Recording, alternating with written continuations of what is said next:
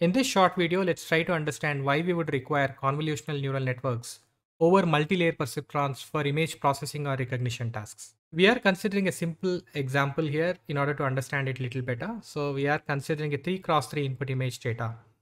And this 3 cross 3 input image data is completely flattened out into a 1D tensor object, which acts as an input for your multi-layer perceptron model. In case of your CNN, you're retaining the 3 cross 3 input image as is. In reality, you would have your input images which take the shape of 720 by 960 or some other dimensions, but not 3 cross 3. This is completely arbitrary for now. So this is arbitrary dimensions that we have considered just for our better understanding. That's all. Every pixel within your 1D tensor will now be represented as input within your input layer of your fully connected neural network, right? And obviously there could be like 100 different neurons within your hidden layer H1 and every neuron in hidden layer would receive all the prior inputs. All the previous inputs will be received for every single neuron in a fully connected neural network. Just imagine if you are having input image of 720 by 960, then you will end up having 720 multiplied by 960 number of weights.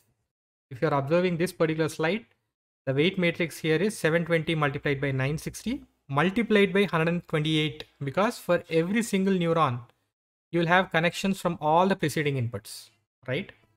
So obviously there is a parameter explosion. Whenever there is a true explosion of number of parameters, there would be a certain problem of overfitting unless your input uh, data is like really huge and also you are doing good regularization. Only in such cases you might not observe overfitting. So in CNNs, we do not have these many number of weights due to the kernels.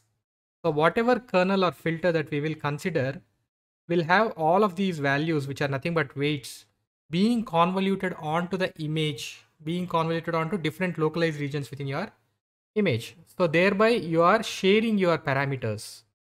So parameter sharing is one of the key concepts within CNNs, which is going to reduce the overall number of parameters that you are having within your model, thereby reducing the complexity and also thereby reducing the overfitting problem here. Okay. Apart from parameter sharing, we also have spatial and translational invariance issues with multi-layer perceptrons, which can be solved with CNNs, which I have explained in detail in the computer vision series that I have posted on YouTube channel. Please click on the link below to understand more concepts related to computer vision. Thanks for watching.